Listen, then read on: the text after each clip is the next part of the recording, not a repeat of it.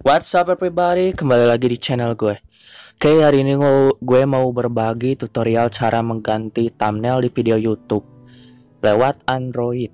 Jadi karena teknologi semakin ke sini makin canggih Artinya buat ngeganti thumbnail YouTube aja gak perlu repot-repot harus ke PC Cukup pakai aplikasi ini YouTube Studio.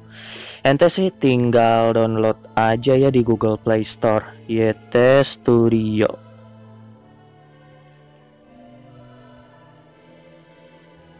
ya YouTube Studio ini. Terus kalau udah download tinggal masuk. Oke tunggu aja prosesnya. Nah udah masuk kan? Terus yang mau kalian ganti thumbnailnya itu silahkan pilih aja videonya. Kalau gue sih yang ini aja ya. Terus cara gantinya ini ada ada tombol bukan tombol sih bentuk tulisan atau pensil. Nah dari sini bisa diganti dari judul deskripsi terus privasi playlist sampai tagnya.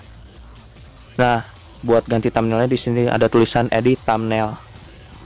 Terus ubah. Nah ini nih. Pilih foto mana yang mau kalian pakai buat thumbnail. Kalau gue sih yang ini aja tinggal pilih ada tulisan tadi di kanan atas. Terus simpan aja. Atau saving change. Udah edit save berhasil. Sekarang thumbnail kalian udah diganti. Jadi gimana? Simple dan easy kan? Gak usah repot-repot harus ke PC kan tapi sekarang udah ada lewat Android. Oke segitu aja tutorialnya kalau misalkan dapat kesalahan atau ya karena ada hambatan boleh tulis komentarnya di bawah ya.